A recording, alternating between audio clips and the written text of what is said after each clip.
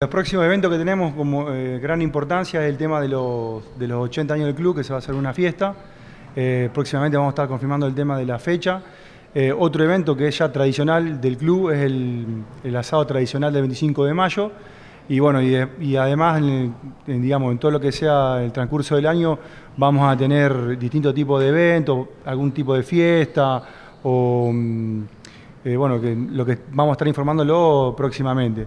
Eh, bueno, déjame destacar que eh, este año se va a retomar, ya a fines del año pasado se, inició con la actividad del handball, que, es una novedad para, el club y para la ciudad de Galvez.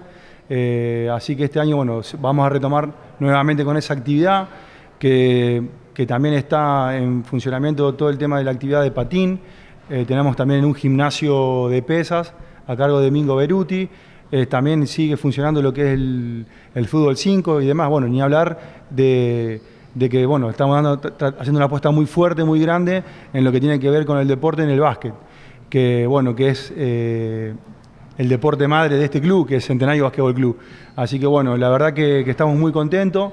Eh, es un gran desafío que nos, nos- llena de interrogantes, pero bueno, así que estamos contentos por haber asumido este desafío y bueno, tra- eh, eh, trataremos de estar en la altura de las circunstancias y bueno, muy contentos porque vuelve de nuevo la primera en Centenario al básquet.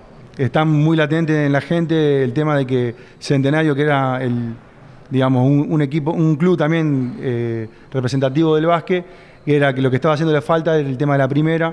Ya le digo que, que, bueno, es una apuesta grande a fin de poder incentivar también el tema de, los- de los chicos, que cuando tienen una referencia como la, como la primera, eh, motiva a los chicos. Porque me tocó a mí, eh, como jugador del club también que fui, eh, el, el- hecho de tener una primera es como que te da más empuje para venir a entrenar y demás.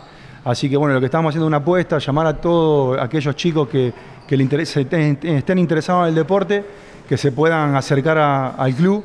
Eh, y bueno, que las puertas están abiertas. Lo que más eh, puedo destacar, que sí, seguramente en el futuro vamos a poder hacer varios eventos, porque todo el mundo sabe lo- el costo que demanda eh, tener una primera y tener vigente un deporte, competir, los viajes y demás. Así que bueno, seguramente estaremos informando de alguna que otra cena, algún baile que se pueda llegar a hacer en el club y demás. Así que bueno, eh, invito a toda la, población a que se pueda acercar, a, a la gente que haya pasado como el club, a darnos una mano, a, a colaborar y acompañar en este desafío que estamos asumiendo.